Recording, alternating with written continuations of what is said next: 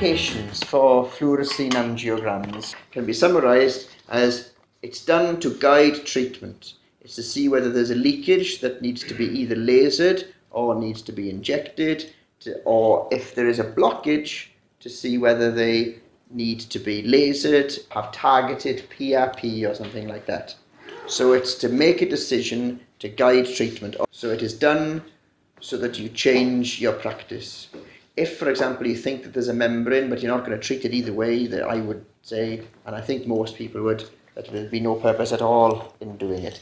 And likewise, if you have a CSR um, and you're not going to treat it at this point anyway, then I would say, what is the purpose of, of doing an angiogram in that way? Red free. A red free is a certain picture that doesn't contain any red.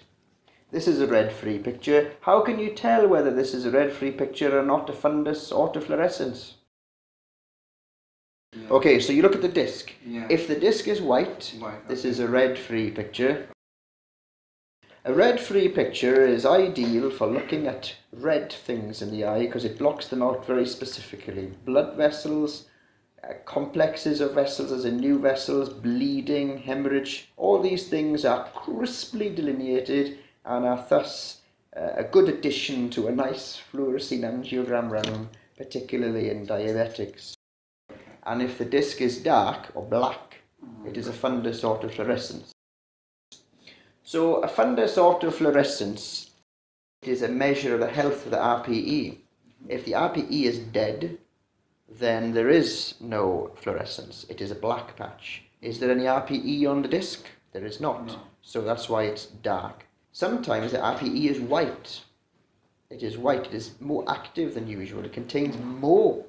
The job of the RPE is to recycle um, photoreceptor pigment and things. Every day, particularly in the morning, the photoreceptors dump a lot of waste products and then they process it. And they process it, the stuff is fluorescent. So the more stuff it processes, the more fluorescent it is. So if a piece of RPE is being overworked, it is white, glows on autofluorescence. There are certain other genetic disorders that can also cause uh, hyperfluorescence on autofluorescence. Stargardt's, yes, with excessive lipofuscin. When looking at the stages of an angiogram, you start at the beginning and work your way to the end. You, the first thing you do is look to see when the dye enters the eye, uh, and that is at 12 seconds it enters the arteries looking at the blood in the artery, the delay between the artery filling and the vein filling.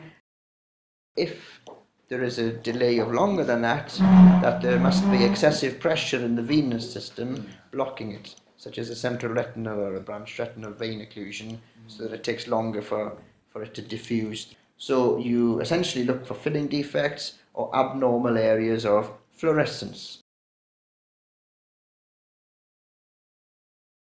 After you've gone through those, nice to look at the disc and the vessels around the disc as well, as well as the periphery. But focus on the abnormalities that you see as well. As I would say, introduce what it is and then go straight for the obvious abnormality before describing what isn't. Otherwise, it seems a bit strange to ignore the elephant in the room.